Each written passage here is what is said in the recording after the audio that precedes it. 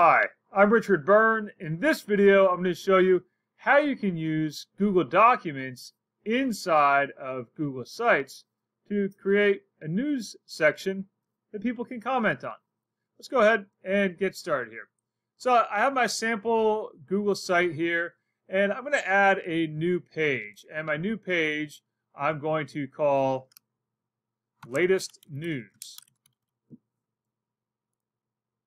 Now, I could just go in and start writing on this document or on this page rather than writing in a document. And when I do that, people can read it, but they won't be able to comment on it because Google Sites doesn't have a commenting feature anymore. So what I'm going to do instead is I have this Google document that I've created as a sample, and I'm going to share it. And down here, I'm going to change the link. I'm going to change the link and say that only people in my organization can comment on that document. So I'm going to save that setting. Then, back here on my latest news page, I'm going to insert that document. There's my latest document. I'm going to insert that.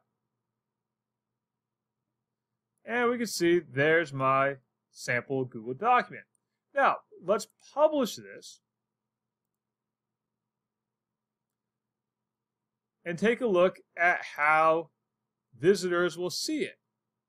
They'll see it just like this, with the latest news, but in the upper right hand corner, they can now open that document and they'll have commenting rights on the document. So if you want them to comment on something, this is how they can do that. Now, you might want to update it and say at the top of it,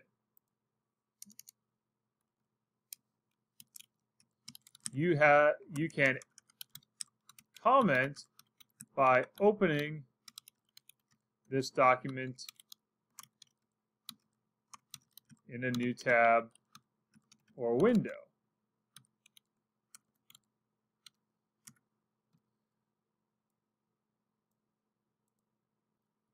And now back here on my sample amazing site, the next time someone sees it, they'll see that little direction. You can comment by opening this document in a new tab or window.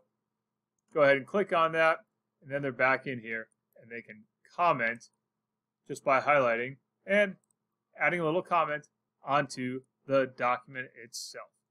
So that's how you can use Google Documents to have a latest news section on your Google site that people can comment on.